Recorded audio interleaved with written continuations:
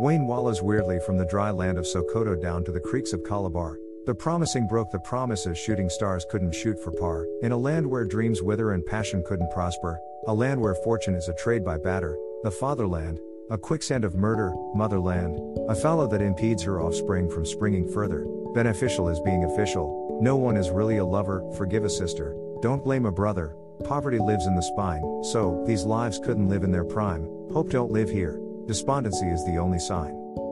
So, how do we live when survival is suicidal? When welfare is warfare, how do we thrive in this battle of denial? We rest on the bosom of Abraham only to wake up on the thighs of Delilah. Now, the dream is to sleep at the shores of Badagry and wake up on a white man's port, to post pictures of living a resort. Home has become a deficit at hand. It's better to squat in Scotland. The reality of a dying dream, transformation from an African to a human being.